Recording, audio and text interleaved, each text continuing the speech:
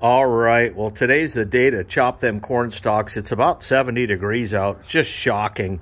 And anybody that's ever watched my videos more than five seconds knows that this ground dries fast. It's uh, gravel bottom, so about two, three days of this sun and nice breeze, and we get dry. So we're going to pull the H out. First, we got to fire up the M, get that backed out, and we can pull that out, get it hooked up to the hog, chop some stocks, Dog and stalks. Deutschland.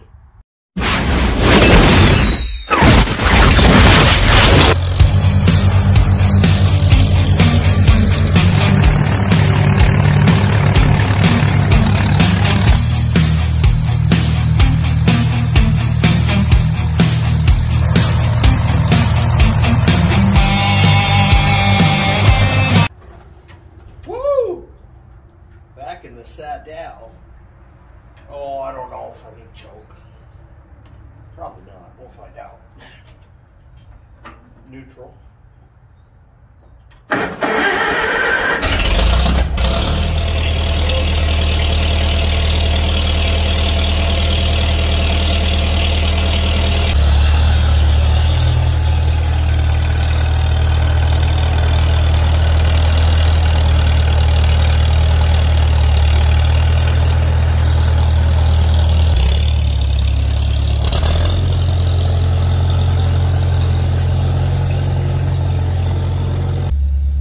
No choke.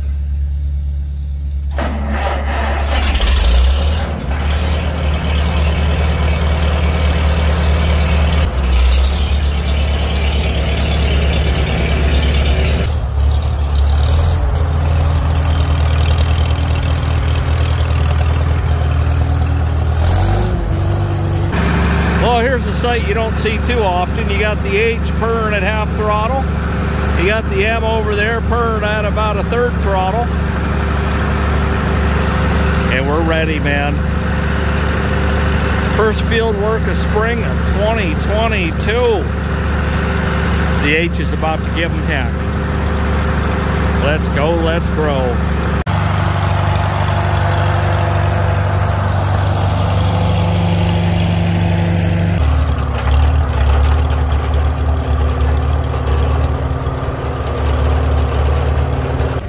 Not real hard to line that up when the hit slides.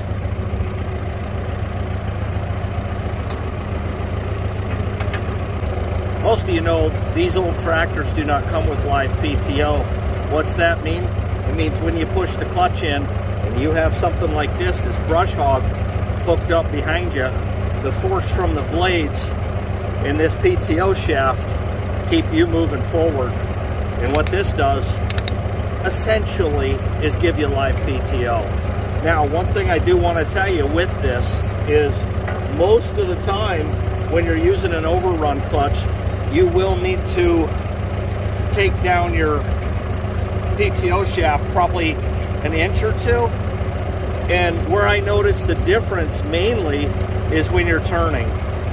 You'll get a weird kind of uncomfortable stress kind of sound on the PTO shaft itself. So you add this, you know, I figure at least that much, you know, start there and you're better off cutting it not enough and trimming it down as needed than to overcut it. So start trimming it at an inch and see if that works.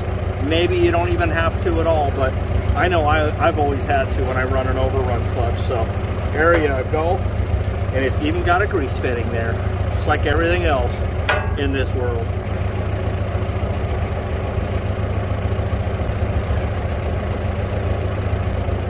So that's locked in there. Well, we're locked and loaded. We're ready to go. I do need to get a pin in the bottom of that pin so nothing stupid happens. I can tell you, as heavy as this thing is, if that dropped out, it would be all kinds of stupid and ugly. I don't even want to know what the potential result would be, but other than that, we're ready to roll. And you know what that means. First of the year. Regulators, mount up.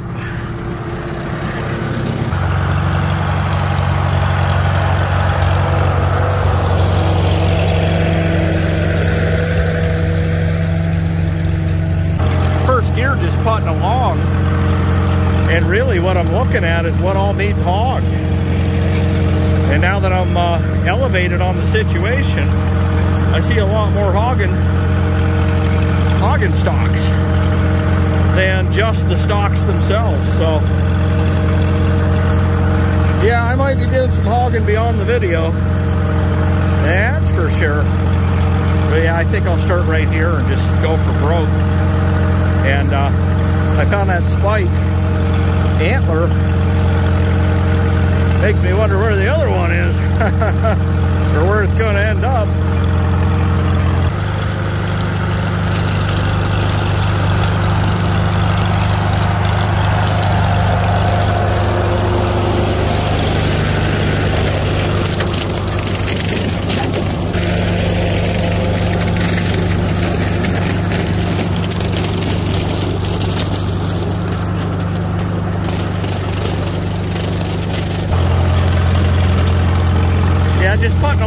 second gear. I'm not in that big of a hurry.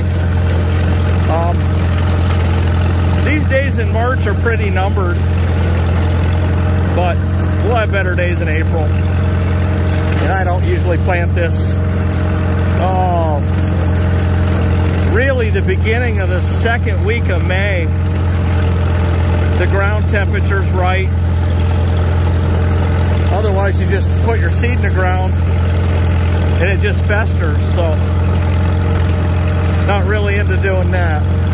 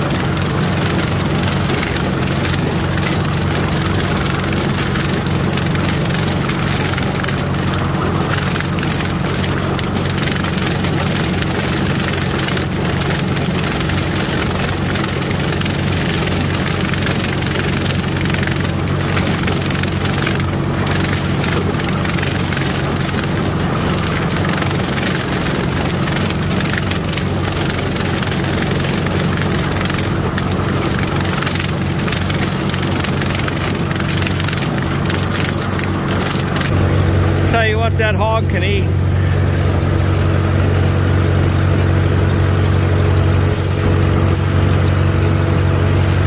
I'm gonna bust right up through the middle of this.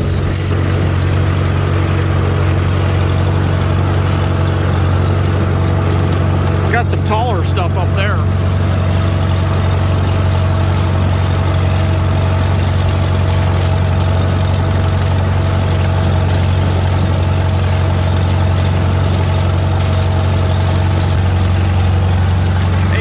Ting going on.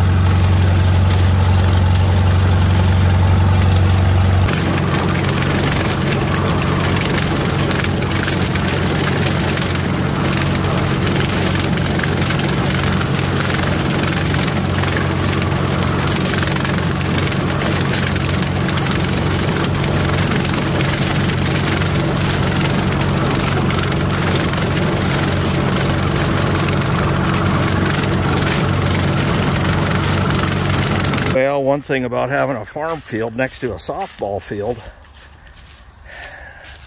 tell you what, somebody hit a serious homer with this ball.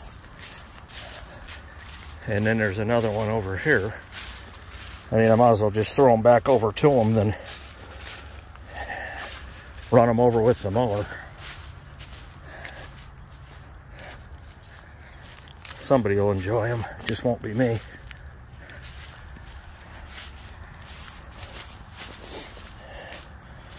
Yeah, this one's been here a while. They've developed a pretty good uh, league. They're at their, their state level softball and varsity. It took them a while. If I see any other ones, I'll throw them out. Yeah, that's today's rig, rigmarole, and that is a 1945 H H ski. This this tractor here has been pretty much designated as a planting and brush hog tractor, and uh, it it it's just perfect for the role. It's the right size. I've had a couple guys come on the channel and be like, "Oh yeah, that H is is gutless." Oh yeah, it's 26 horsepower.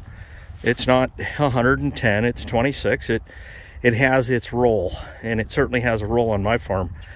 And uh, you know whether I end up with a a 5300 or a 5100 soybean special or stick with my 510 grain drill, this thing is just match made in heaven for it. Um, this front end sticking out like that was designed so that you could mount front cultivators on it. Most M's and H's you'll see they don't have this. And that was, they pulled that to mount the cultivators. But I kind of like it out like that. And I've mentioned it several times, but I never assume that nobody's new watching my channel for the first time. So I'll tell you, it just acts as a front weight. Uh, this is this is kind of a punchy clutch and uh, even in first gear if you're even half throttle it, it it'll snap you back in the seat like you're doing 10 g's and uh, but you know with that you, you, don't even think about doing a, a wheelie. So let's keep going and growing. This field here is not too bad. Um, really what it needs truthfully is burnt. You know you go around the edges with a disc and just enclose it with about a, a 10 foot wide dirt swath and then you just throw a match on it. Now uh, a few years ago I got in some trouble and I don't mean legal trouble I mean life trouble um, uh, I was I got overconfident co call it cocky whatever you want to call it and one got away from me. And it got away from me to the point where I was stuck in it and there wasn't any way out and luckily I just I just pounded with the shovel until I almost passed out and that would have been the end of it. I I'd have never woke up from it but anyways I made it out and I swore after that day I wouldn't I wouldn't do uh, control burns ever again by myself so I like to have two other guys here with flat shovels uh, ready to pound some some stuff and keep it in control um, control burn is a real nice way to put it. Fire will do what it wants, believe me, but you can do a lot of things to control for where it goes. And I, like I said, I just disc the outer edge and then, and then you're pretty good. The creek's that way, the creek's that way. The railroad tracks are right there, so it's it's only going to burn so far. It's just, uh, and then the baseball field's green. That's not burning. And then there's a road that goes right along here. So that it's not burning that way or too far that way. Actually, I'd like to burn that pasture because I can tell you, uh, the buck I shot in 2020, the taxidermist sent me a picture of the cape and he says, good thing you killed this deer because he was full of ticks. And I mean, the tick marks were astronomical. Now, I'm not saying he got them all here, but I haven't done a control burn in this pasture or the other one. And I'm going to tell you the better part of three years. So, yeah, let's keep going and growing picking up some fodder. That's some trading fodder. I'll trade you that for seed and fertilizer. Beep, beep.